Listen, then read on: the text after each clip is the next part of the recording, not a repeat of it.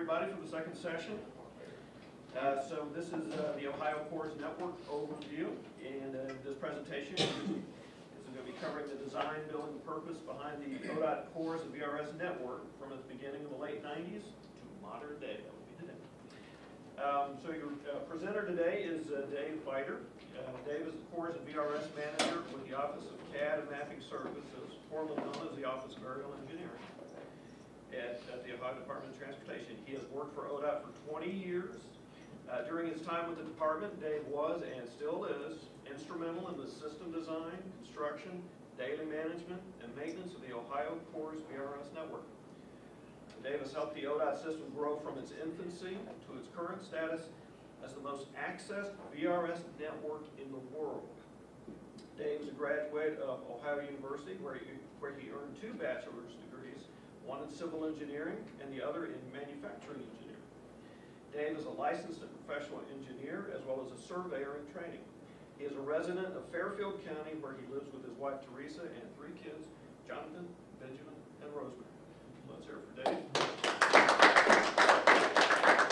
Thank you, sir. I think, well, he basically covered the intro there pretty well, so we'll just kind of get into this. How many of you guys in this room have ever heard the statement, can't shut the network down, the CORS is up? Okay, you hear that, you hear that a good bit. Well, this, I was asked to do the presentation to kind of give you guys a little background of what exactly it is, you know, and how we use it, and how it's instrumental to the state, and, you know, the benefits and stuff along that lines. All right, first we'll get, to, get into the, the acronyms. Uh, CORS stands for Continually Operating Reference Station. It is a GPS receiver that sits on a pedestal or on a mount, antenna mount somewhere, running 24 hours a day, seven days a week. Um, VRS, that is the software, actually the package that we're using, it stands for Virtual Reference System. Like Mike said, the, the got its start back in 19, in late 90s. Um, I started with in 98, of course.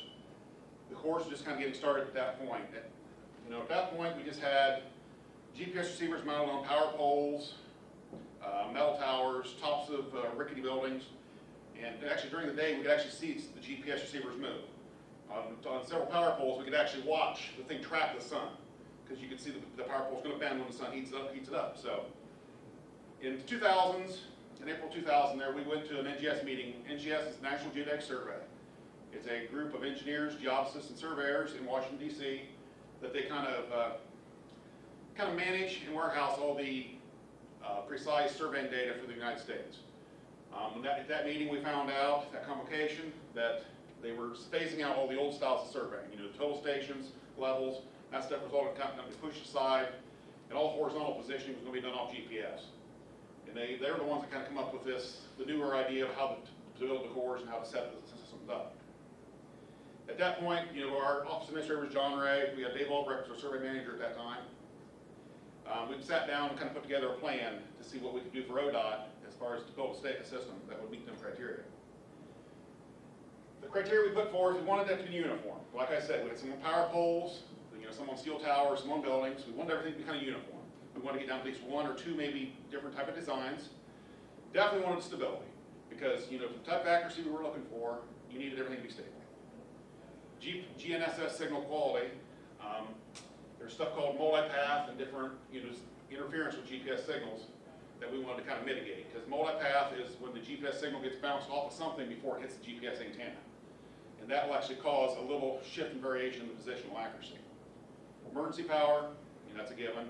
Lightning protection, you know, we wanted to make sure everything was as safe and secure as possible, because these receivers aren't cheap. You know, back when we started this system, a GPS receiver and antenna was close to thirty thousand dollars. Now we're getting down to around ten to twelve thousand for an antenna and receiver, of actually a better quality. Vandal resistant, same diff, same reason. They see that thirty thousand dollar piece of equipment, they're touch and swipe it. Single point of control, you know, we want to keep everything in-house. You know, network connections, you know, make sure we have a good solid connection to the ODOT network, you know, connect you guys. Environmental factors, we want to kind of make the stuff look nice, look, you know, kind of fit in with the atmosphere, and easy to maintain.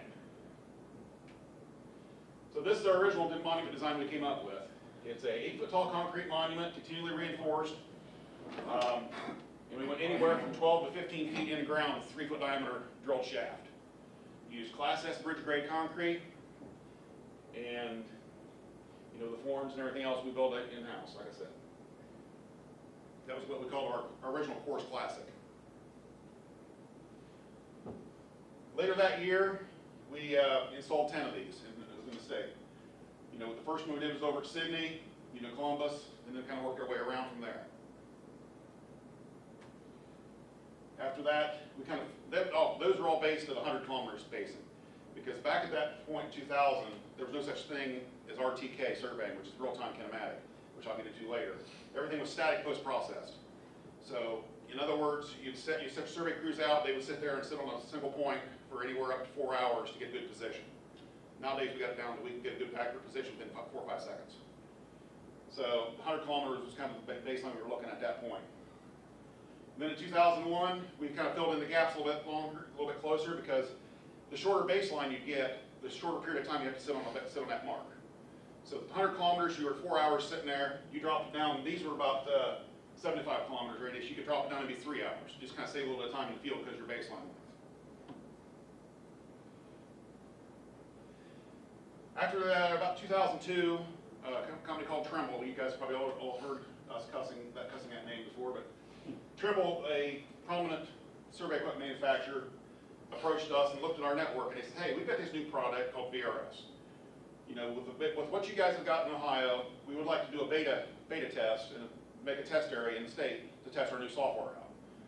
We chose the area kind of over there west of Columbus just because of, you know, how the proximity of our office and, you know, that's a flatland area, you know, the farmers are in that area, a lot of surveying firms are in that area too.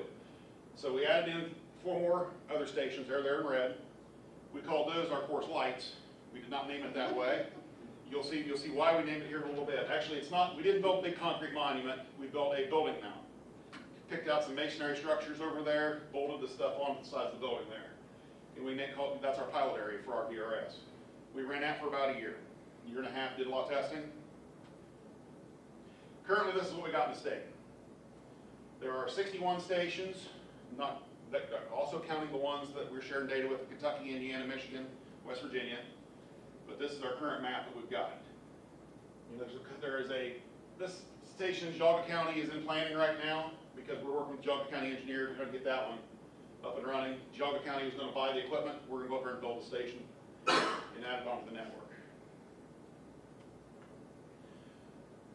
The network was constructed, we did everything in-house. You know, we did not use HTs from the district to go build this, we did not hire consultants to do this. Everything was built in-house. John Ray, if any of you knew him, kind of a little bit of a control guy. Everything, we wanted to keep everything within our office. You know, we see the benefits of this, we could control our own quality. You know, we could have a little bit of flexibility on design, and we knew what we had, so we knew how to fix it. And the fact, we could go out, mobilize real quick, go out and do the job and get it done. We didn't have to mess around with bidding and, you know, send out the specs or whatever for that. And the first, the second one there came into play on our first build. This is Sidney. This is an example of the design flexibility. As you can see, as we poured concrete in this form, the forms start coming apart. We learned real quick, do not use the Class S concrete with super plasticizer in it, which made this, made it very, very fluid. As Soon as they hit it with the concrete vibrator up there, the form started coming apart. You know, we were sitting there wrapping, uh, ratchet binders and chain binders around it to keep the thing together. If you drive by the uh, Shelby County Garage there in Sidney, look at that CORS station, it comes down, kind of bulges out, and it kind of comes down, we kind of nicknamed that the pregnant CORS station. Because of what, what happened, we did save it, but like I said, you know, it went back to the designing board real quick like on that Ford, because that three quarter inch plywood, the way we had the corners designed, did not hold the, the hydrostatic pressure.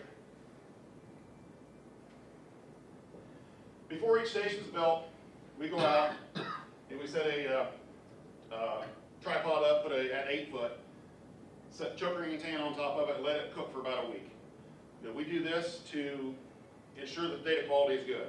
And I know a lot of you, they're sitting back looking, okay, there's hundred thirty-eight thousand volt power lines sitting right there behind that station, and we've heard electric, electric lines, uh, cause interference with GPS. Not necessarily. The issues with the electrical lines with GPS are all due to broken insulators. If an insulator on that has a crack in it, that makes the noise, makes the buzz, which is actually cut through the GPS signal. So at that site there in Wayne County, that's at Wayne County Garage. At that site, you know, that was good, clean data. And when we submitted that site to NGS for acceptance, we kind of took pictures so there was a power line in the background. But, you know, that's what, it- how we started out. Every project we started out, we go out and set this receiver up and let it cook for a week and then run the data through some specialized programs to test the clarity of the data. You know, we've got the geotech, uh, section in, at ODOT. Right after we check and make sure the site's good, we have to send them guys out. Every site, we get a core, core sample down to hundred feet approximately, to making sure the soil's stable underneath and there's no underground mine shafts, et cetera.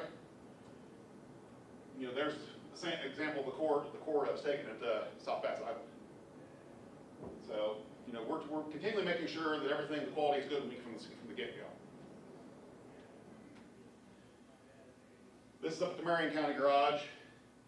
This just shows the uh, auger that we had, this is actually a specially made auger to dig that deep. They actually took a tree auger that they, for planting trees, a three foot diameter tree auger, built some specialized extensions out to get down to the twelve to fifteen feet deep. And the normal auger truck won't spin that, so they've got, this, that's the District Seven's there. District Seven and District Three are the two districts that have the big powerful auger trucks that actually can, that can spin that auger. So we have the guys come out from that district to, to shoot the holes down for us. Like I said, everything's continually reinforced. This is at Marion as well. Uh, there are the four number five rebars there, five 8 inch diameter. Uh, rebars with rebar rings in them. The centerpiece of conduit is what we run our antenna cable in. Most of the, uh, stations right now are running LMR four hundred coaxial cable. Some of the longer runs are LMR six hundred or the LDF four fifty. Uh, We keep everything, kind of like I said, keep everything inside.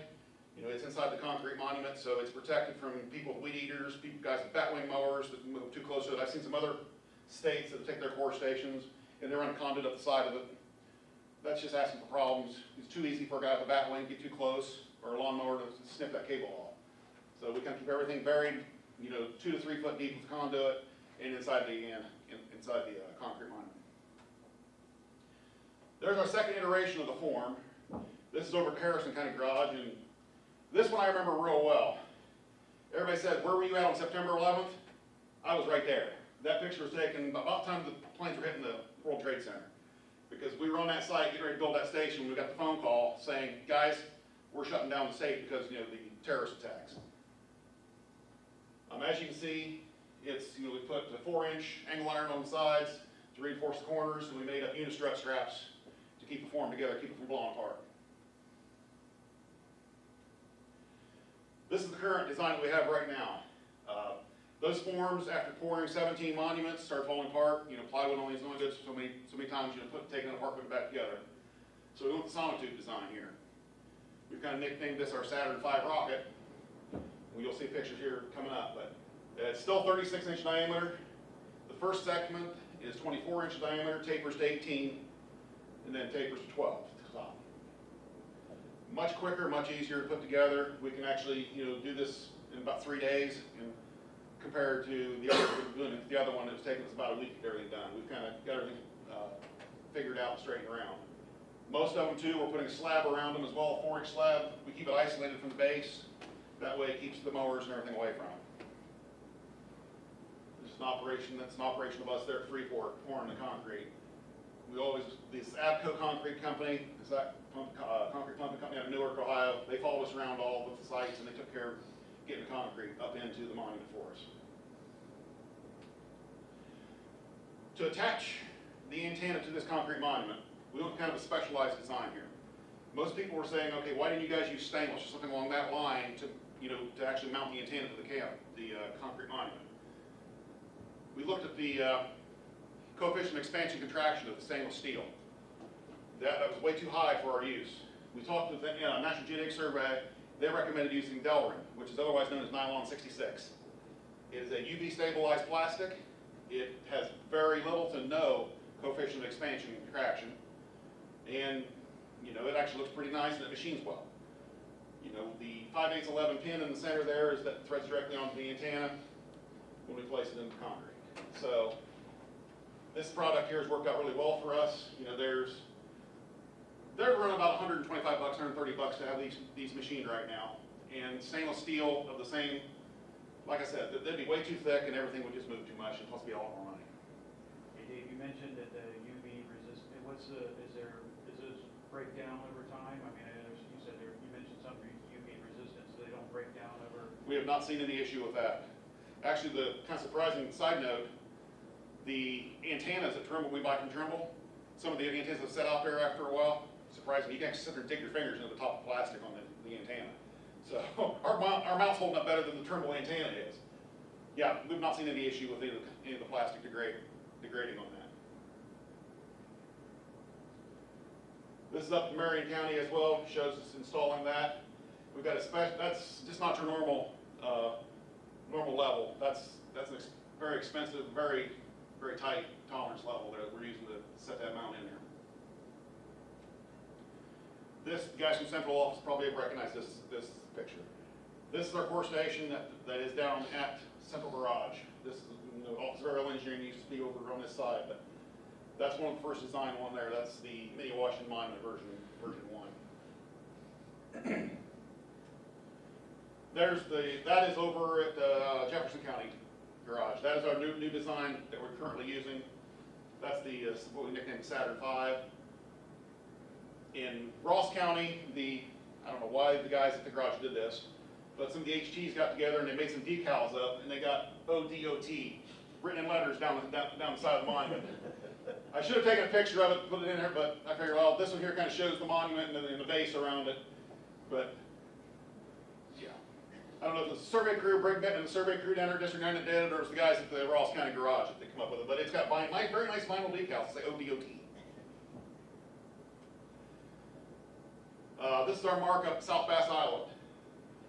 This, uh, this one's shorter, it's only a five foot tall monument because it's at the airport. The airport will not let us go the full eight foot because they're worried about, there's a helipad actually right over in this corner compared to where it's at. And of course, the runway of the airport, they didn't, they want to be able to get the wings, of the planes over top of it and anything else that they would have issue. This mark is, I've been told by the guys at NGS, this mark is the most stable CORS station in our entire network. NGS has almost three thousand CORS stations in the United States, Canada, actually they're expanding all over even right now, but they said that is the most stable mark they've got in their network. Why? Because this thing is embedded right in bedrock. As you guys know that have been up on the island, that's all rock.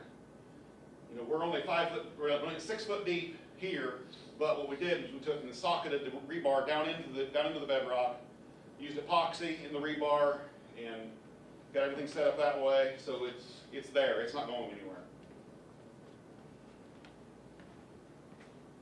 Remember the Freeport CORS Station I was talking about? This is what happens when a county gets some money and they start resurfacing their roads, they don't know what, what that thing is out in, out in their yard. That's supposed to be eight foot tall. What they did is they went out and did some grindings, and they just started dumping grindings around it. Well, once the District Eleven survey crew seen this and found out about it, you know, I could walk, I could walk over and sit on top of that antenna. Next day, this is what we had. Luckily, they did not break that thing off. I cannot believe with the amount of earthwork that they were doing around and moving everything, that, that, that thing did not get sheared off. So, things like this presentation, educating people what's out there, because I've had a lot of, I've, I've shown up at ODOT garages, and they call these weather stations. I said, I'm here working on the CORS station, they said, well, we have a weather station out here, I said, no. This is the other thing, the big white monument out there. So, you know, letting people know what's, you know, this program's been going on since two thousand with monuments like that. I think after eighteen years, but you with turnover, people know. Here's another interesting one I just had to fix. This is the Van Wert Garage. Guy was in a little bit of a hurry with dump truck bed up, hit, hit the building. We noticed, we, we actually can tell you exactly when it happened because that antenna moved four centimeters. When he hit it, it actually kicked the antenna. So, I just finished, we were up just up there two weeks ago rebuilding this one after they put the new front of the building on, so. We, we can watch it, we can see it with the monitoring, the software we've got. We can see when things like this happen. Back when we started in two thousand, this is what we had in each, each of the cabins. And Jerry, Jerry's sitting there shaking his head saying, yep, I remember these, these things, I've run network to them. The, the older GPS receivers were not net- networkable. So in each one of these places, that's a thirty-six by thirty-six by twelve CT cabinet. Each one of these, we got a small form factor Dell computer stuck in there to actually connect, to pull the data off the receiver, put it on the network, send it back to the SOC. Uh, this is a Turbo fifty-seven hundred receiver, probably the most bulletproof GPS receiver I've ever, we've ever worked with. You can take a truck around truck over that thing that still work. Um, was talking about lightning protection. Down Brown County, the Brown County ODOT facility, probably fifteen years ago, the, uh, radio tower got struck by lightning. The CORS system went down, the station went down. I went out, I went down there, opened them double doors up and almost got knocked down to the smell of burnt electronics. You know, it, it, it fried the antenna, fried the computer, fried everything in there. But when I brought the GPS receiver back to the office, plugged in, started collecting satellites. So, our lightning protection did its job to the point where it didn't come back through the, get the receiver, plus the, kind of says that receiver's pretty good. Had another one, tower get hit up at Lima, it actually come, my grounding that I had, where everything was grounded and bonded, was actually better than the grounding in the building. Because it actually, it actually came down, hit the antenna, it followed backwards through my grounding, through my lightning suppression, and actually welded the GPS receiver to the back of the metal cabinet, where it actually went to ground through that. So it's pretty interesting. I've seen so many things in the past eighteen years. This is what we have currently. This is this is actually an older generation receiver, but it's the same idea. Uh, that's net R5 receiver. It is networkable completely, so we just plug it into the network. It has static IP address. The, everything's programmed right into it. You just, you plug it in, logs into the network. It has its own web UI interface that you go in, you can program it, you can set the data rate and everything along that line, so we don't need the computer and everything else. This right here is a signal amplifier. Um, this one's up at the Wayne County Garage, and there's over, I think it's about 600 foot of antenna cable. So this, it's a very weak, GPS is a very weak signal to begin with. So that one there's got two signal lamps in it to actually bump that GPS uh, signal up. Granted, it adds a little bit of noise, but it's still, it's good enough for what we've got.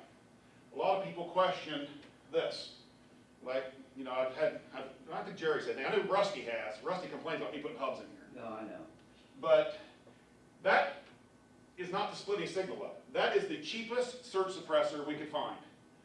Those little forty-five dollar five-port hubs, if there's a little surge or something through the network, you get five shots. You blow, blow, blow the ports out, of each one of those, and just move it to the next one. So, you know, we've got, you know, this is our, this is our network surge suppressor we keep in them.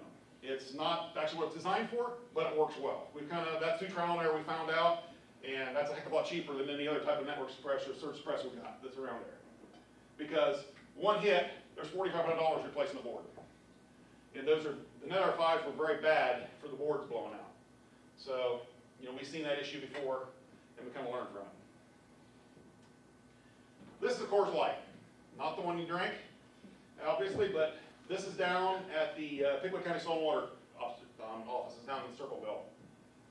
Um, the Coors Lights that we've built, like you said, the masonry building, the majority of them are masonries, as you've seen that one in Van Wert on that steel tin can, but we didn't have a better choice up there. Uh, it's a three-inch Schedule 40 steel pipe, five foot long. As you can see, we've used Unistrut, bolted it, braced it back into the building, bolted it back quite well. And that's how the antenna is mounted. We've actually noticed the stability on these is actually pretty good. Granted, it's not like the concrete monument that's stuck in the ground 13, 15 feet. This item right here is called a lightning candelabra. It's a lightning diffuser. Supposedly, how it works, and I knock on wood, we've not had an antenna get a direct hit yet, but that actually dissipates the static, static point charge caused by that antenna. Why it's lower than the antenna, than the antenna, that's NGS's rules. According to NGS, we can't have that thing, it's got, it's supposed to be ten foot away and a foot lower, but as you can see, with the pitch of this roof, I couldn't get it ten foot away. But that actually, as you can see, it's grounded, everything's grounded and bonded together, and this is into a driven ground, ten foot driven ground rod, copper ground rod. Everything's bonded, so it dissipates that point charge caused by the antenna. So, you know, the lightning is attracted to point charges, so that little dissipator with all the little whiskers up there supposedly dissipates the point charge. And like I said, we've not had anything to take a direct hit, so they must work. In 2004, after the, system was up and running, you know, we had the complete network going, we've done all the testing for beta testing for Trimble. Um, we were kind of blessed. Professional Surveyor actually did a cover story on our network. We were the first state in the United States to have a statewide network. And I always, I always like to point out, my picture's on the cover twice, but. Yeah. Those pictures were taken out of Lancaster bypass when they were actually building the bypass down there many moons ago. But, yeah, professional surveyor, they did a nice article about, nice write-up, and like I said, it's kind of nice, little kudos for our, all our work on the network. As of today, like I said, there's sixty-one stations, twenty-one of them are the CORS Classics. Uh, thirty of them are CORS Light building mounts. That number of lights is decreasing, because as you all know, ODOT's got this very aggressive policy right now about replacing county garages. Well, if there's a CORS light at that garage, we talk with the contractor and the consultants, and actually, we get them to run a conduit out for us, and we are actually building CORS classics at all those locations. That way, we're getting away from the building mounts, going more to state stability, because the new buildings, they're tin cans. You know, and the sheet metal building, you know, you heard me mention multipath. It's very reflective. You know, and we have seen some issues with some of those ones that are on the metal buildings as far as positioning data. You know, you can tell, because as the satellites move, you can tell that antenna moves, but the Trimble software is getting better as far as modeling that movement and molding, uh, uh, mitigating the multipath. So it's not quite as critical, but we still like concrete monument a lot better.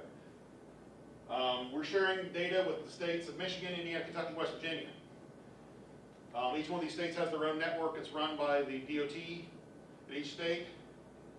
It knows Pennsylvania is missing. Pennsylvania defunded their CORS station, or CORS system about, fif- about ten years ago. So Pennsylvania has got two private networks over there. And with us being a state agency, you know, we can't really share data with them guys being private entity, but they're for profit. So that's why, you know, that little short area of the state that butts up against Pennsylvania is kind of, doesn't have overlapping data.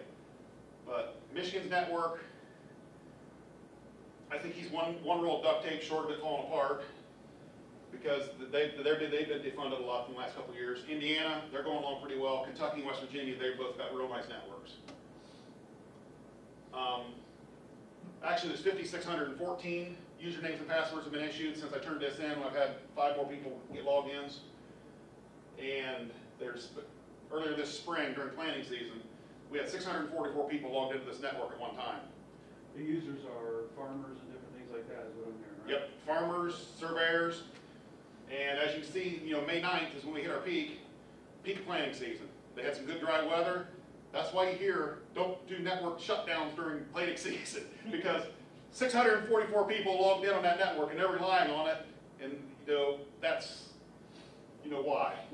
I don't like getting nasty phone calls, I get them enough anyway. How do you register for an account? Coming up. Coming up. Not, not quite yet, but it's getting close. To register for an account, uh, we have a small, simple form. You just need to, I know Chief Legal is reviewing it right now and going back through it, coming up with something new. But, uh, it's just right now, it's a simple form, it's contact information more than anything. Send me an email, I can get you an account set up, log it into the network. Not really that difficult process. But like I said, Chief Legal is reviewing it, trying to get in there, modifying it, making sure they get all the legal speak in it. Dave, I got a question for you. Yep. When's the best time to do maintenance? Because, you know, we can't do any maintenance on the network during snow and ice. And then, so we get out of snow and ice and. That's why you hit us in the spring. Right, we're going, we're, we wanna go full out of it, that's a bad time for you. Is it better to do maintenance at night Yes. than, like Yeah. after dark? after midnight. I know it's not, I know you guys don't like hearing, it, but, you know, if you guys are gonna do the maintenance in the spring, I would say push it back as far late in the evening as possible. Because during the springtime, you know, those of you guys that come through our office, see the monitors we have set up. You know, I get in the office about five thirty in the morning, and during spring planning season, I come in and there'll be like hundred and fifty turn people run, still running at that time in the morning. And, you know, they've been logged in for two or three days. You know, they'll log in straight, they'll start going, and they'll just switch out drivers in the cab to try to get stuff done. So, you know, summer's perfect time, or winter, but you guys, like you said, snow and ice, we can't do that. But, you know, middle summer, right now, we're in a lull, right before planting or harvest season starts up again, so, you know, we're still seeing, Do they use it for harvesting? Yep. They do? Yep. Okay. we're seeing two hundred people logged in at a time right now, approximately, on a good sunny day.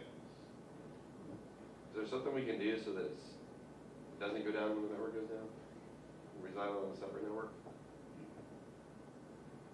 You know, we've, we've done, we, you know, if you guys are doing server maintenance, we've got it set up right now where we, we can, we've got the two, you know, mirror, mirrored image servers set up where we can actually kick them back and forth and toggle them, but, you know, they're all on the same network. The network. reason I, the reason I ask you is because we're gonna use the, planning on using the CORS for connected vehicles. And those will never stop. Yeah. There is a lot of testing going on with the connected vehicles right now. Really? Yep. I, yeah, I didn't know that. Yeah, that's, This, I've got a chart that I'll show you here in a little bit, that shows you how many hours and stuff that people have used it and where the connected vehicles have come in, right? They're just getting started, they're still actually, they're becoming a pretty good size user. I just got a request yesterday from a group out of California. You know, right now, Tesla's testing in Ohio, GM's testing in Ohio, Hyundai is actually testing a automated vehicle in Ohio. I know Honda's big in it, they've always been big in it. Ford's doing some testing up along the uh, Michigan, Ohio-Michigan border, because they were doing some, where they wanted to make sure that the Toledo stations up there were, were good and solid, because they're, they're mainly staying up on that area, close to Detroit. Do you have a slide that explains this connectivity? I mean, why is it important for a CORS station? It's coming. It's coming. I can get all the, all the, all the riff, I got one coming up here in a couple that actually explains how the system works and how, and all that. I'm just gonna give you the background, a little side information. But, like I said, first statewide use, statewide, uh, network, two thousand four. We were the first state in the United States to have both GPS and GLONASS. GLONASS is the Russian satellites, we were tracking those. Ag, ag sector, they originally said it wouldn't work. Well, two thousand nine, we proved them wrong. You know, uh, highest user in, the world, or excuse me, highest user in the United States, six forty-four. Germany's the only the only country that's higher than us, they've seen fifteen hundred logged into their network. Germany, think no bigger Germany is, you know, they're, they're fifteen hundred plus, and we, we see six forty-four. But with our fifty-six hundred logins issued, we're the largest in the world that way.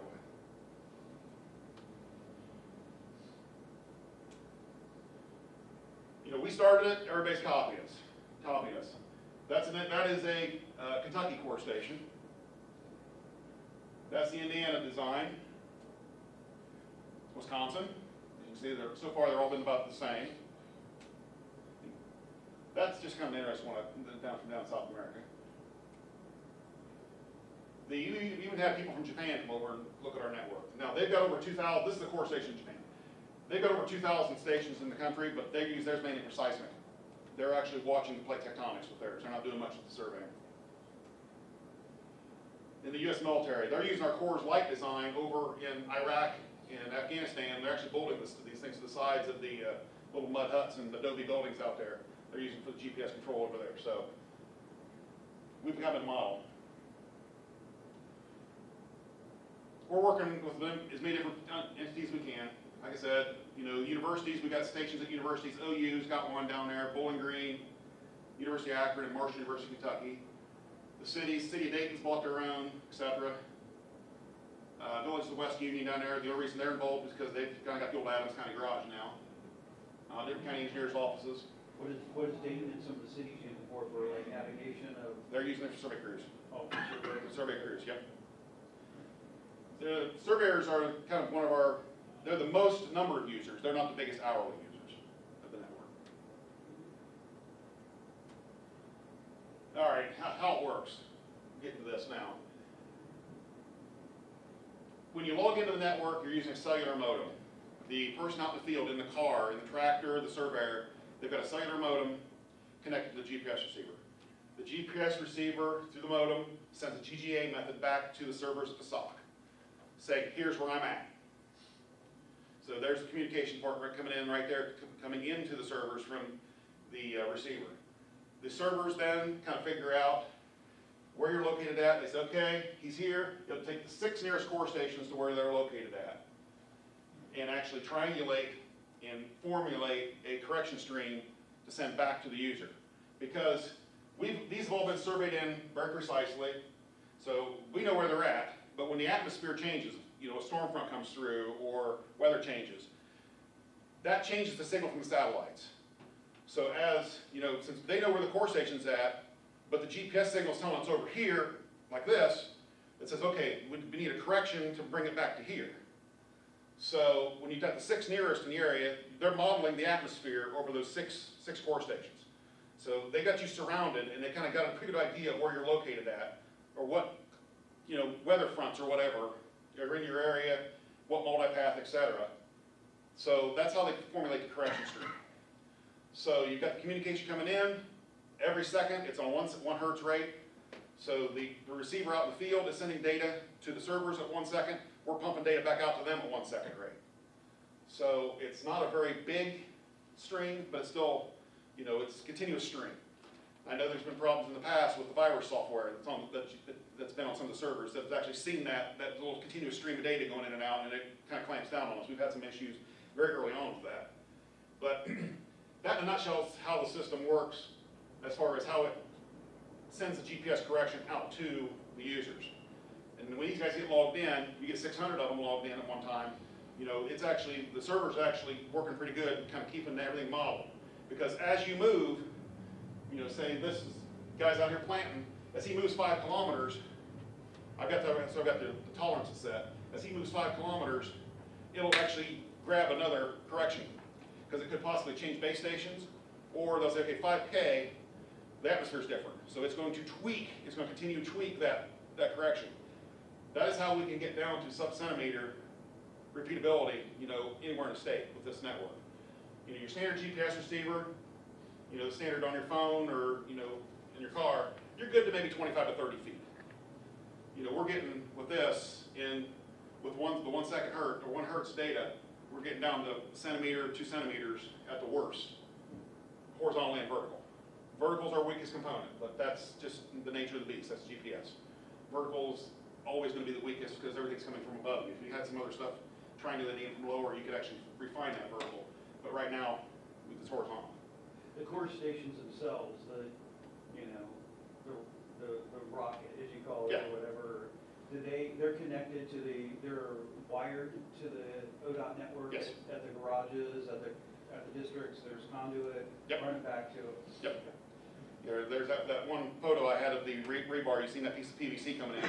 That's actually running back into the building, into that cabinet. And then in the ca, in, I keep all the receiver and all that stuff in the, in the locked, typically they're locked cabinets. Unless it's in behind a locked door or something like that, but, you know, the receiver, which is plugged into the network, is behind that locked door, unless I have a locked cabinet inside the building. The only thing outside is exposed is the antenna. How much, how much radius does those monuments broadcast? How many miles? You said it talks to six, but how, how far away does it? Right now, we're real close to a thirty-five kilometer radius between the stations. We average thirty-five kilometers between CORS stations. So, you know, they don't, they don't technically talk to anything, it's just where they're pulling the data in from. You know, there's no, the stations don't talk to each other, they just talk to the SOC. They just talk to our servers down here at SOC. There's, there's the form I was about talking about earlier, there's our, you know, access to the VRS. Like I said, this is a simple contact information form, such as to get a login password. This is what most people are using out in the field right now to connect to our system.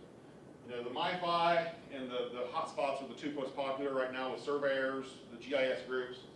The farmers are relying on this thing called an Tuacom bridge. That's basically this little network, cellular network modem.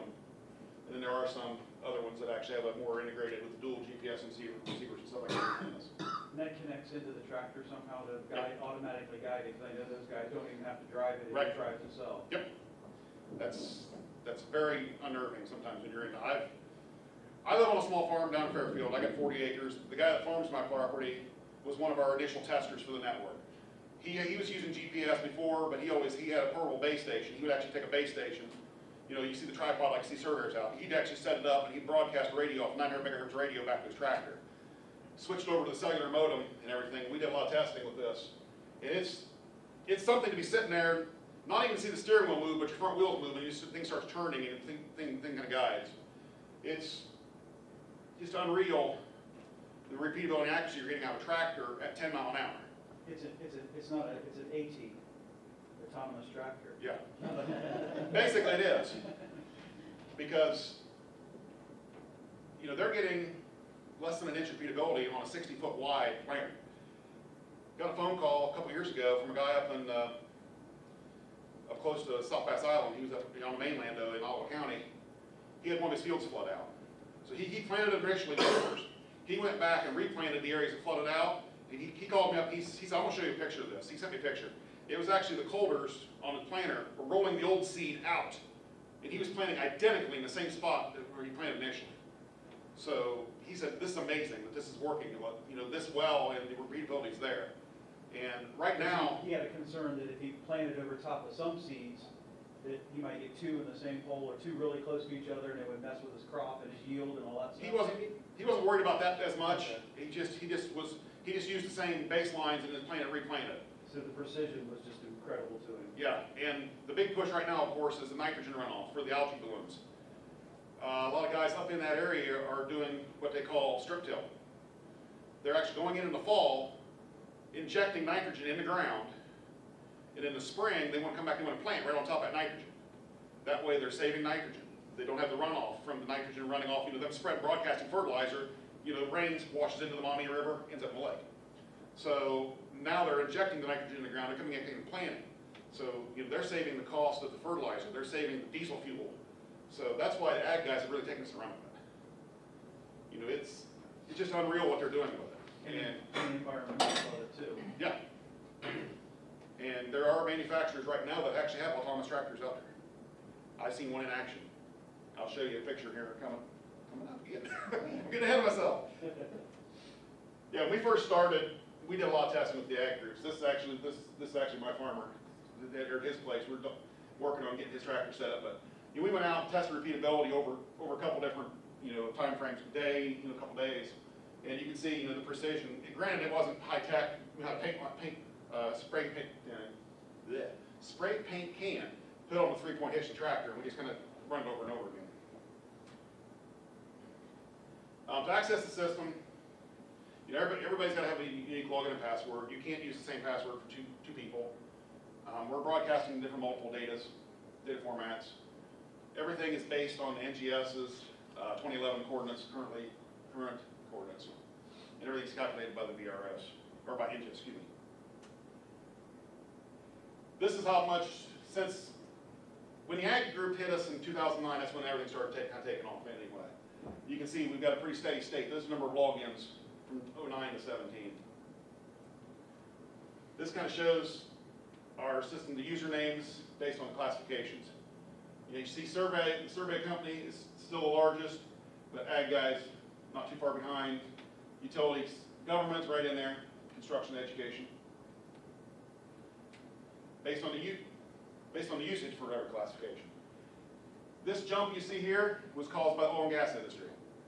When they found oil over in eastern Ohio, and started doing all that, you know, the survey crews would come into Ohio like crazy, and that's why the big jump was, and you can actually see it's dropped off a good bit now since the oil prices kind of dropped. The ag guys have kind of been a steady state, shooting up, and they're uh, by our users, largest user by far. The construction, is that like when you see guys on the side of the highway with the tractors and they got the little Yep.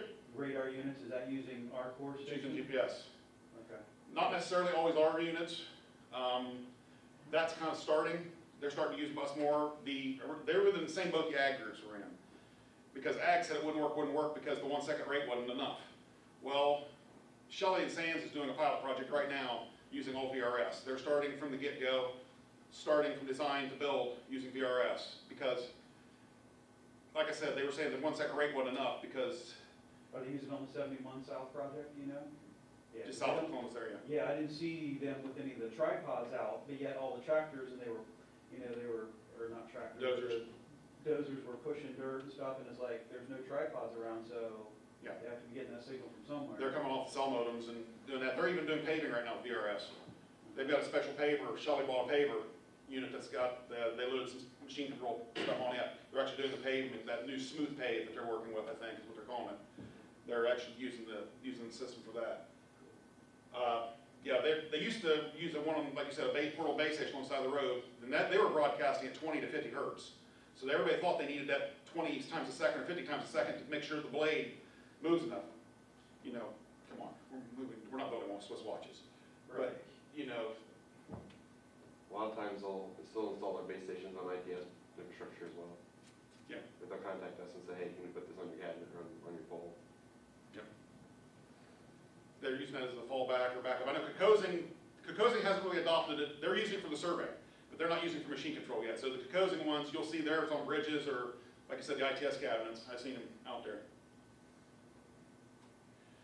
This is the one I'm talking about as far as the, uh, breakdown. So out of all the, last year, we had five hundred nineteen thousand hours of usage for the system as far as the number of logins times that. ag users at forty-one percent. Utilities, this is the oil and gas industry. They're out there locating their utilities and locating all the underground pipes and everything for the new gas lines, transmission lines. Autonomous vehicles just got started, and you know, they're, they're three percent. Last year, I think was the first year that we really even had any autonomous vehicles testing on the system, but, you know, they're currently at three percent. They're doing, using it more than the, like AEP is. AEP's got fifty logins, they only, in the, like, they use one percent. Surveying, twenty-four, and construction, they're gonna be growing here next couple years too, as more people use the, uh, uh, automatic machine control.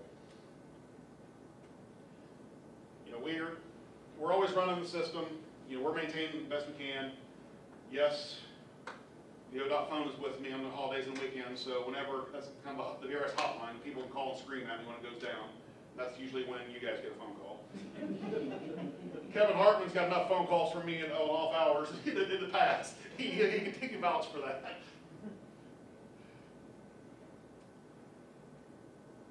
There's the, the maintenance truck right now. Everything's on there that we can use to fix it. Uh, as far as managing the system, you know, it's daily monitoring. You guys come down to the office, you'll see the monitoring system set up. We got the, finally got the website up and, up and running. You know, Simon got it through all the testing, all the vulnerability testing, and our website's now live in the network. We always, always are working with NGS. You know, we hand in hand with them guys. They're the ones that validate the system. They, you know, they store warehouse the data for us. Software, Trimble is always coming up with new software upgrades. We got a new one coming I don't know when we're gonna install it. Obviously not harvest season, probably do it in the winter time. Hardware, we're always, as long as budget reply, a budget, we have budget, we replace the receiver's name tags. Some of the applications, you know, we've got GPS surveying, uh, project control.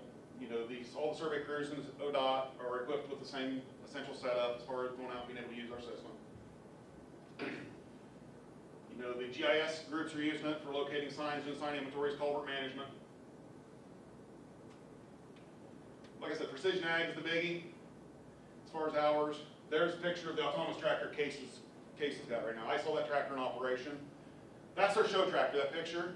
The one I saw up in Racine, side note, I collect Case, old Case farm equipment, so that's why I'm kind of partial to the red stuff. The green stuff does not work on our network unless it's using a Trimble or an off-brand receiver.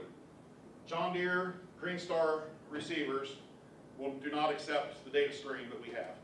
John Deere's proprietary. Mall Deere is that way. You know, John Deere, you gotta be John Deere.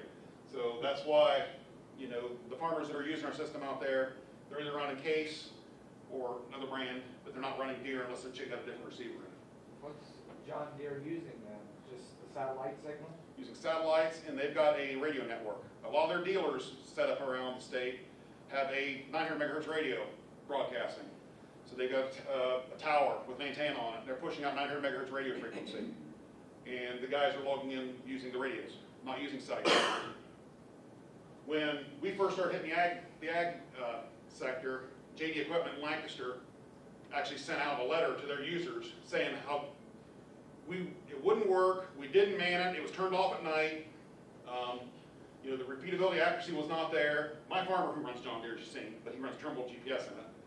He re-brought this to me and he said, Dave, here's the BS that, you know, John Deere's putting out about your network. He said, I know it's not right. Because he said, this is what you guys are working against. You know, John Deere is huge. You know, John Deere is a marketing genius. But, you know, I, I enjoy going to the Farm and Science Review and walking into the, the John Deere tent and start teasing the people that are in there. Do- Will you guys ever work with the ODOT, the ODOT's got this network, you know, do you guys ever work with that? I had one girl flustered so bad one year, she said, sir, and I, and I gave her my card, I said, you have any questions here? I'm the manager for the network. She said, sir, sir, I, I just do what I told. I said, just do what I told, this is, this is how they trained me. I said, I know, it's fine, you know. Because she's, all radio networks don't work, and, like, you got a. Uh, but, yeah, it's kind of fun messing with, doing that. I get that coming up here in about, in about two weeks, the Farm Science Review again. But, yeah, I've been, like I said, I seen the autonomous Case up there in Racine work, uh, last year. Yeah, it was the hundred seventy-fifth anniversary of Case, they had a big thing up there, and I went up for this thing, and, uh, for the Woodring celebration, their head convention. I bet you that ain't cheap. No. The one they had, this whole fiberglass frame was busted up, you know, it was scratched up, and obviously it run into some stuff when they were doing their autonomous testing, but to watch it out in the field, You know, there's no cab on it, there's no way a person drive that thing. Right. You know, it just went out and, you know, they're, set up their, set up their AB line, which is their baseline. They set up the offset for the plows and directions, discus on the back of it. The thing would run down the field, turn around, come back, it just kind of working back and forth, all on its own. It was not remote control either, you could just, you could tell the GPS was handled, and they were using the, with the WisCORS, Wisconsin CORS Network. So if you, you ever see, you drive, you drive by, driving up and down seventy-one or whatever, and you see guys running like this with their markers up, you know they're on GPS, they're on our network typically. Because those those markers, they pull the markers out and they use that as a site. That's how they lined up in the past. You know, they drop the markers, they line it up at the center of their uh, steering wheel or center of the hood, and that's how they kept their line straight. Well, now, they just sit back and read a book, you know, or eat their lunch when they're, when they're running the equipment. Or in five or ten years, you're gonna see things like this with no cab out there running with their LiDAR unit on the front and GPS everywhere else. And like I mentioned before, these guys, the construction companies are going with the GPS. Those are the two Trimble units that were on that cat. This is kind of a fun project we did. That's John Ray sitting there in the, in the dozer seat. We actually took a piece of property out behind the Franklin County Engineers Office down here. We had our, we flew it with our LiDAR. We had our mapping team map it. We had them design a, a ditch. We had, it uploaded into the machine and we actually did it. So we proved, we went out and proved that actually using VRS from start to finish would work. That was a ball, playing with a bulldozer. You know, we got, a- for a week, we're out there with a bulldozer just doing this work. Just testing to make sure the system would actually do what we said it would do. It's improving. So, you know, the construction guys, like I said, have been slow to adopt it, but they're coming on. As, as soon as Shelley Outsourcing gets his pilot project done, you know, it's, they're gonna take off too, go crazy. I'm certain you've heard, you know, the software we're running is called Trimble Pivot Platform. And that's typical for engineering firms, they've got acronyms, and it's an acronym within an acronym, basically. Pivot stands for the Progressive Infrastructure View Overlay Technology, and then an acronym for that. Acronym for that is TPP. What this is, that's just their big, Trimble's got their big software platform that they're using, they're pushing right now. It's called Pivot. Um, within that, we can actually do a lot of add-ons. It's not only just the GPS corrections. You know, we can actually put atmospheric models, atmospheric sensors at each one of our CORS stations and use it for weather forecasting. There's some, there's actually weather forecasting lab in um, Boulder that have taken data, not from us, but have taken data from surrounding states that got Atmo sensors in their, sen- out there, out there. Uh, seismic, you know, seismic sensors at each one of these stations. One kind of neat thing, you remember the big um, earthquake that hit Japan here a number of years ago? That, that took out the nuclear plant. NGS gave our data to the uh, earthquake center from our CORS stations to actually see if that earthquake affected Clear River in Ohio. They, they called me up and said, hey, is it okay if we send a bunch of, a block of your data to the guys over in uh, Washington State so they could actually test the um, seismic to see if you guys, your data was affected? I didn't hear anything, I don't think we, you know, we probably felt a little bit, but nothing that we'd ever noticed, and not the CORS stations we noticed. So, you know, that is a big umbrella, that software is a big umbrella of all the different, uh, softwares that they have. We're all running, you know, with the pivot software upgrade, you know, Mike can justify that, we, you know, we went with all the virtual servers, we had the big project, we with all VMs. Uh, you know, we got a full redundant system right now, we got the two sets of server, or two servers set up, you know, utilizing, accessing one, uh, database. You know, we've got the website up and running finally. Trimble's got some mobile apps out there that I, I could actually run the system from my phone, but they don't work. Trimble's been promising they would work for the last couple of years, and they haven't. And, you know, they got different data formats. There's what we see back at the office. These are all stations, and you can see that we can actually know, actually I said when you know when one's down, at that point right there, Darke County was down. Well, the Darke County station was down, for that, when that picture was taken, that was back when they were building the new station, the new, the new garage, so the network was cut to that. But you know, This is what we see back, back in here. We can actually see when people are logged in. As you can see, District eleven was logged in at that time right there. Big Brother is watching you, because I can actually zoom in, we can zoom in tight enough, and you can actually see the people moving across the field or moving around the GPS. Kind of funny note, my son worked for a surveying firm my son's a senior high school. He worked for a surveying firm this summer, and I knew what his login was, when he was out in the system, I'd kick him off. He got, he got, he got there working, I just right mouse click, delete, boom, it knocked him off the network. He knew dad was messing with him, about, about the third time I kicked him off. So I left him alone the rest of the day. That was his last day of work, and I figured, you know what, I'm gonna have a little fun with John.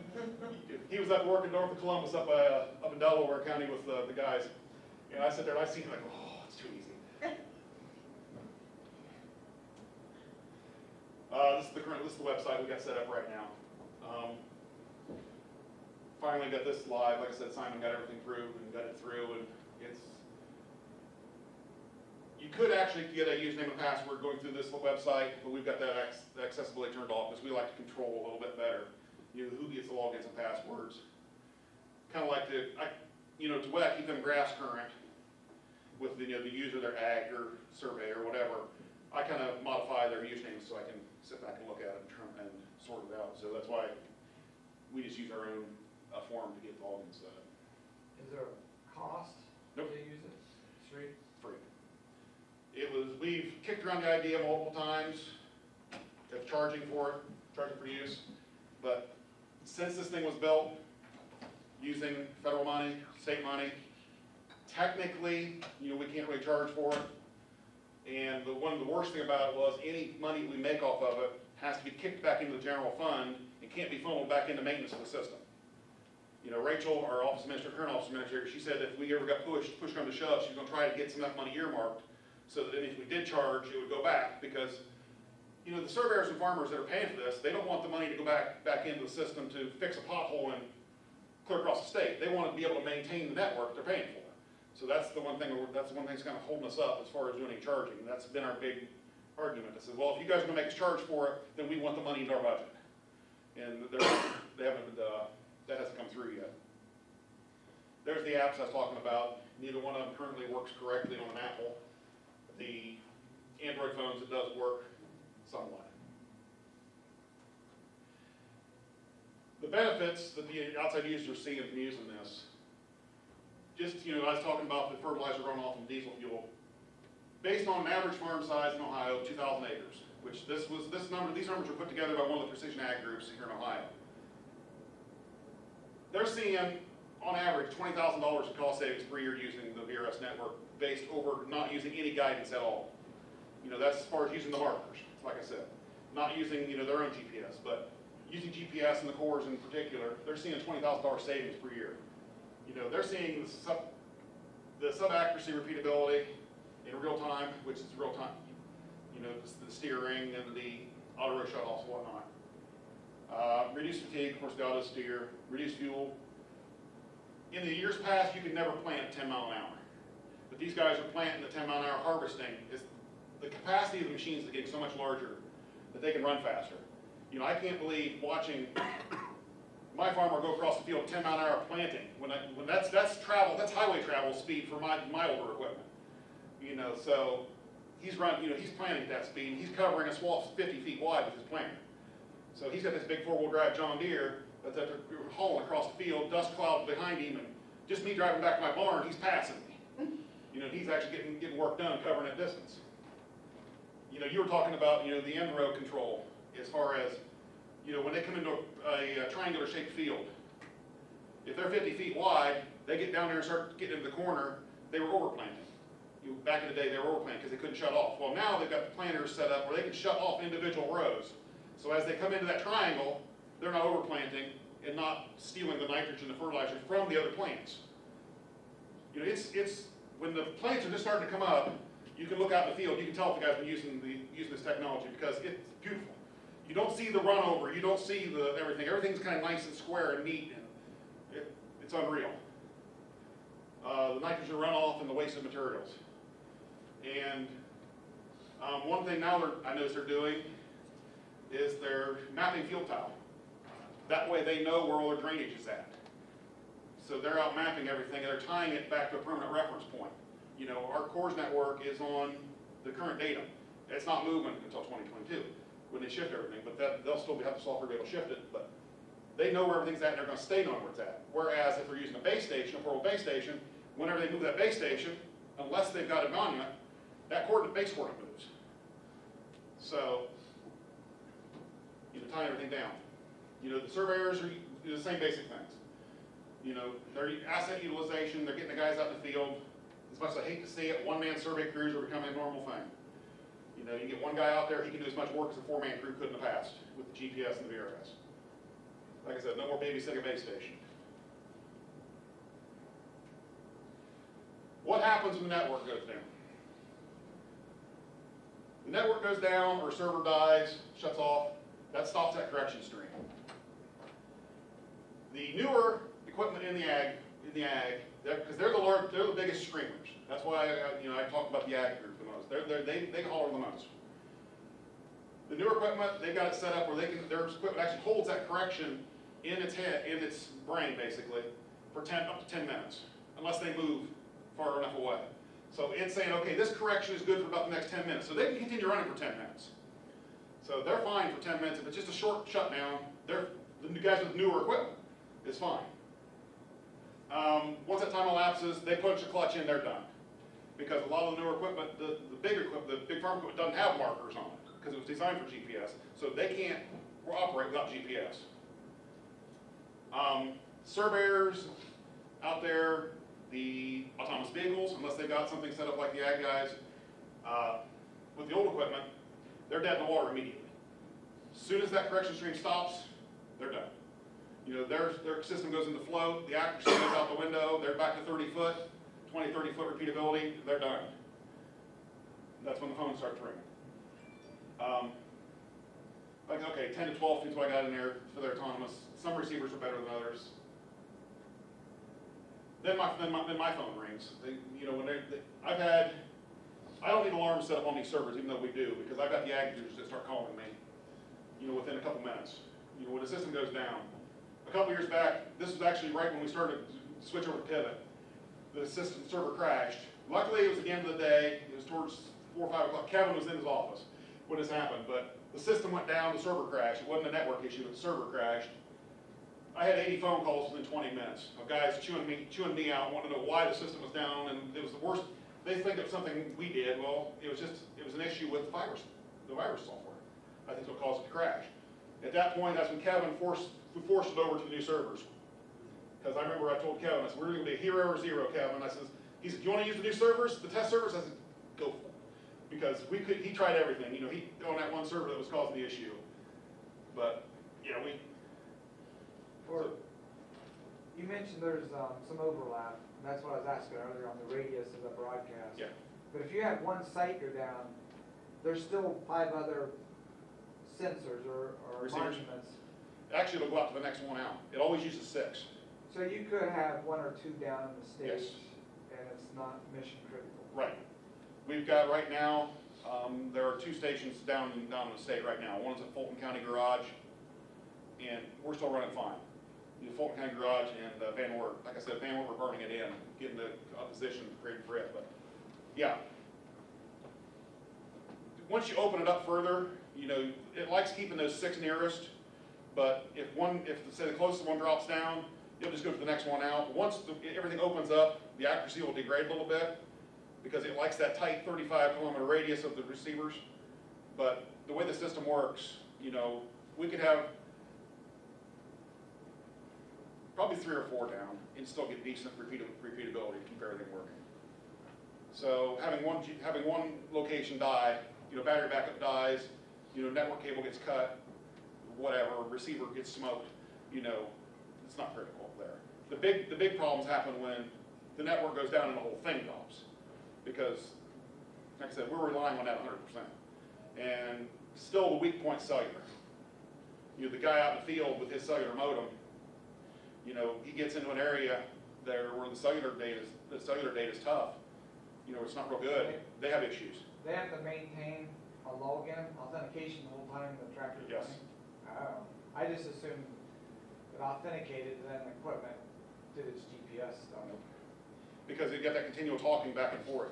The receiver updating where it's at, you know, the, the GGA stream that's coming out of the GPS in the, you know, the rover out in the field, the tractor, server, or whatever, that has to stay, stay connected.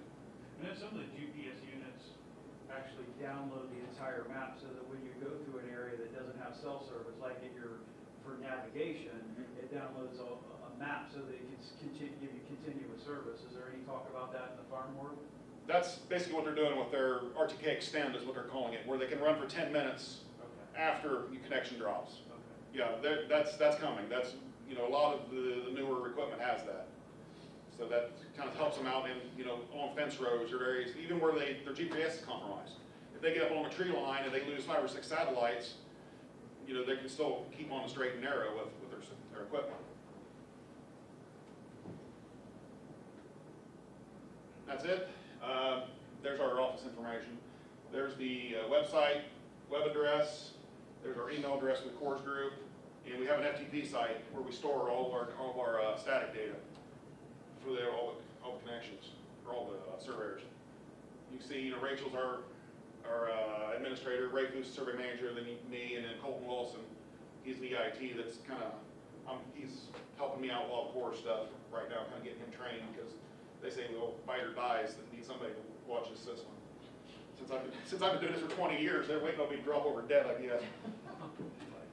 They don't want you stepping in front of a bus, right? Right, especially on a homeless one. Yeah, yeah, let's run it off course. That would be classic, wouldn't it? Get killed by the network. All right, any other questions there, guys? Yes, ma'am. So, um, you had indicated Germany has seen fifteen hundred.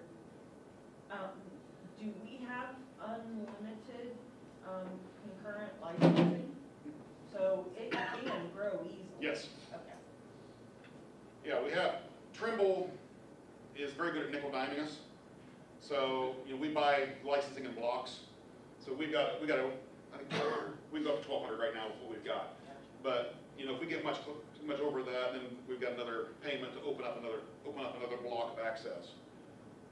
Um, and the software, I'm thinking why they're so big over in Germany is that software is designed, written, it was all written in Germany. Mm-hmm. That's where Trimble, that's where their Trimble software center is at over there in Germany, so they're probably do a lot of testing along that line too, doing stress testing. They don't have John Deere. They don't have John Deere, yeah, they're probably running Fendt or, s- or something along that line. You mentioned autonomous vehicles. Yep. Drive Ohio. So they actually thinking about using the CORS network for navigation? Well, it's not just the autonomous vehicles, all the connected vehicles as well, so all the map messages that you send out, like you're driving down the road and you wanna, you wanna know which lane you're in. So that, like, you're driving up to a signal, and you wanna know if the right turn signal or left turn signal is green, you know, it can tell you that information. And that can help you through the signal or through the roundabout. Um, so yeah, we've basically learned, looking at the RTCM though, just the real-time correction. Yeah. You know, one- that's one of our primary outputs, is the RTCM thirty. The thing is, I, I always kind of, I'm kind of questioning that, do they need centimeter with a car? That's what, I- that was You my. don't want thirty feet if you're trying to. No, don't want thirty feet, but, you know, there is WAAS. You know, WAAS will get you down within a foot or two. But still, that's a foot or two, that's a fender. You know, Right. That's, that's the thing, we always kind of sit back and say, look, the the guys with the autonomous vehicles, I understand with the testing, but in, the- in the future, will they need that good of accuracy with all the sensors? Yeah, that's, a- that's, I mean, that's a, that's a question. Yeah, because I know, I just, I just bought a newer vehicle, it's got all them sensors, it drives me nuts. Right. And, you know, the the proximity sensors and everything on that car, you know, it's amazing what they've got. I'd love to turn them things off. Supposedly you're supposed to be able to. I haven't got, Those features off. yeah, I Don't haven't. you love when you go through the drive-through and it's going off? Yeah, I tried to back out of the garage and things sitting there beeping at me, like, yes, I know the door's there. You know, the crash, the, the one that bugs me the most is if the front of the car gets a little dirty, it's got that collision thing, then I got a heads-up display, it's a Chevy SS. I got the heads-up display, that thing pops up big bright red collision, I'm not hitting anything, it's just bugs or something on the sensors that cause that to go off. It's like, damn it, you know? You know, especially at five, five o'clock in the morning, drive into the office and the stupid thing goes off, like a collision, like, there's no cars. But, Yeah, How many concurrent users can be on the system at the same time? as far, like I said, we don't know. We, we- we're licensed up to twelve hundred. Um, as far as the capacity of the servers, I don't know. When we had, when we hit six forty-four this spring, I checked, I looked at the monitors on it, we were only running at like thirty percent, thirty to thirty-five percent CPU, and like forty percent on the RAM. So the servers we got right now, the two virtuals we got sitting there running, they got plenty of capacity. So I think our limit right now is our licensing, even with the twelve hundred, because, you know, with the VM servers, it's really easy to throw RAM at them or throw processors and stuff at them, so, Is those, is that, um, is those load balanced through the load balancer? yes. So all you have to do is spin up another server, which is pretty easy, and to add capacity behind the virtual IP, because it's Right. all one IP address, Right. multiple servers on the back end, so. Yeah, I've got, it. like I said, we've got, it right now, with two, the con- two concurrent units, I've got them load balanced, but we could shift everybody over to one if we had to. So if one car autonomous vehicle is connected, that, that's considered as one user? Yes. That's one of the limitations of the Trimble software, you know, one login, one user. You know, I know, I just, there, there was a guy yesterday that was getting autonomous users, he asked how many he could log in with that one, I said, just the one. So he's, he told me he'd email me back with the whole list, I don't know how many testing he's gonna do. So if they have a lot of autonomous vehicles moving around, like, once they start testing, then,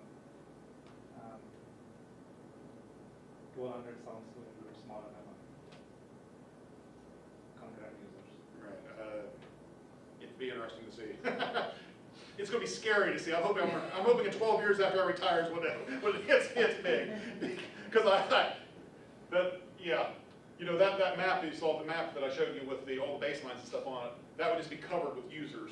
Because at 644, I could actually see, you see where the bread baskets of the state are at during peak season. You know where the farming is going on because it's just one big cluster, you could almost look like you could walk between tractor and tractor, you know, on systems that are logged in.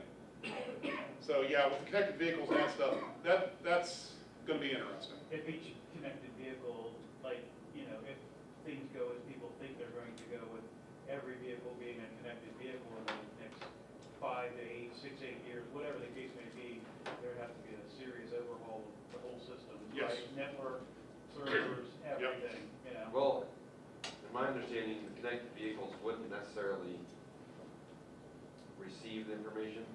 They would get it from a site, a server somewhere, or You a just have it site. broadcasting, you'd have, have, broad- okay, kinda like what the uh, nine hundred megahertz radios do, but Right, a cellular exactly. type. But it'd be broadcasting to RTCM. Okay.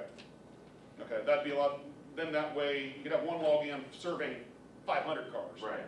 So, that would make more sense than have, you know, everybody, because once the car passed the sensor, you know, it would pick up that, that correction stream. Right.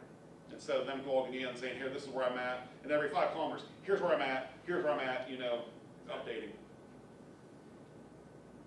It's still, you wouldn't want the system to go down. Yeah. No. It's got more hair than I've got. That's a communication flow that was set up Yeah. between the ITS AV network and the VODA. How, how much does it cost to build one monument like that? Not counting the GPS receiver, about four grand, Forty grand? four thousand dollars. Uh, four thousand. And how much is the receiver? Right now, we're getting ten, ten to twelve thousand. But they were forty. They were forty, And you said they're a lot better now. and they're better. How does that happen? Technology. You could outsource the building of the monuments and they could charge forty thousand, right? They probably would, Which is what they would do. which is what they would do, yes. How long does it take to construct it for? Three days, four days. Yeah, the big thing's waiting on Rusty to get the network, network cables. And then he, then get them punched down where they actually connect. Right, Jerry? Jerry has to go out and fix it for him. Yeah. You got Coshocton County to do yet? Yep.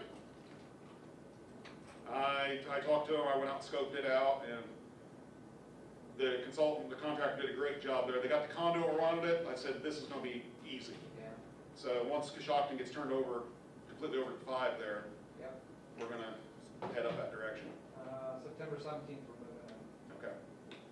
So late September, we'll be there. Greg, Greg and Jerry has the network running, so we have live network. Yeah.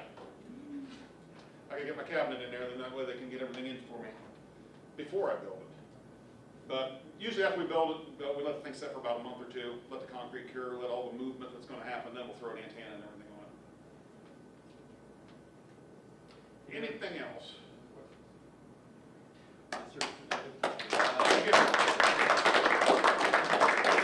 Uh, you're all encouraged to uh, fill out a survey. Um,